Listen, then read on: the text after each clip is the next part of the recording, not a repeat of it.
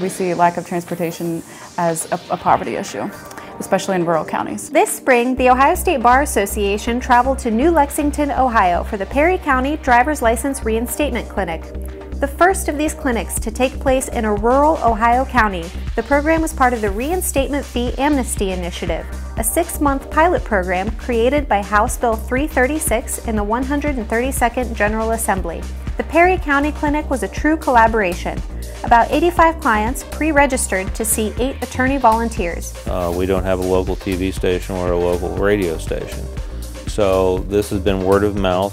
Uh, Judge Dean Wilson of the Perry County Municipal Court and District 9 representative to the OSBA Board of Governors provided his courthouse as a venue for the clinic.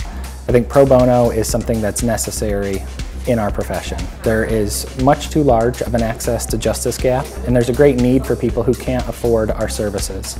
So that's first and foremost one great reason to get involved.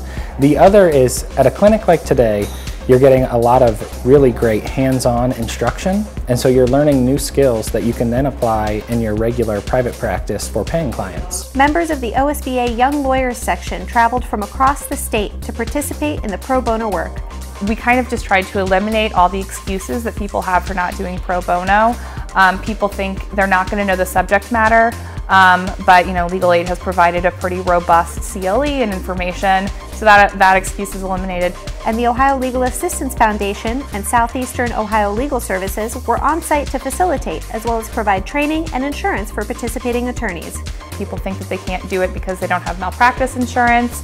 Um, legal aid provides malpractice insurance. We eliminated that excuse. So legal aid's role in these sort of clinics has mostly been facilitating volunteers, um, supporting them with training that they need for people that aren't familiar with um, traffic suspensions issues, we think it's a great opportunity for attorneys to get involved just in a few minutes or a few hours.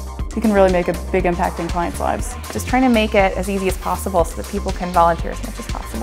The Ohio Bureau of Motor Vehicles and the Perry County Department of Job and Family Services were also on site. I think it's very important that attorneys volunteer their time, especially in a rural area like Perry County. Uh, oftentimes folks, they have a lot of challenges and one of them is financial. And so even though they may be eligible to have a driver's license or there may be a few simple steps that they can take to be, become eligible for, to be a, a licensed driver, they don't have that ability to hire an attorney to do so.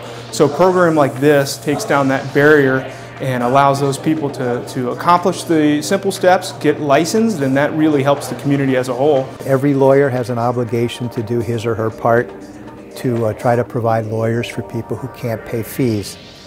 It's in the preamble of our ethical code. So to me, it's a double benefit. We get to help people who really need it, but then we also get to better ourselves as attorneys as well. Whether it's this, whether it's doing something else pro bono, or giving money to support legal aid. I think it's all of our responsibilities. To get involved and to see a list of volunteer opportunities at upcoming clinics around the state, visit ohiobar.org slash license clinics.